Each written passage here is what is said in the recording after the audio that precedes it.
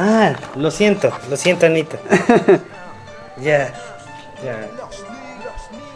Bueno, estamos en vivo en este momento en Radio La Hormiga, hablando sobre el tema de Yasuní ITT. Como, como podrán ustedes escuchar luego en nuestro diferido grabado ahí en nuestra página de radiolormiga.com, todas las cosas que estamos hablando, ¿no? Y también agradecer a toda la gente que está siempre en sintonía de Radio La Hormiga y que puedan también comentar y visitar a través de La Hormiga TV.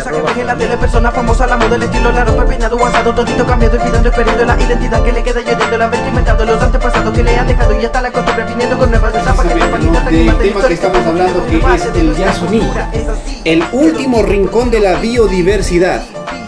De ese estamos hablando en este momento también, que se asiente en la Amazonía ecuatoriana, en la orilla derecha del río Napo, en el límite con. Está atravesado por los ríos como es el Yasuní, que da al nombre del parque el tipo Tini.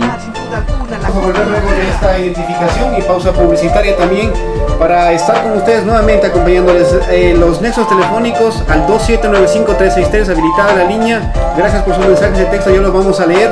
A la gente que está conectada en otros eh, puntos de acá fuera del Ecuador, pues claro, con mucho gusto les estaremos, les estaremos también... Eh, por ahí estás mandando algo,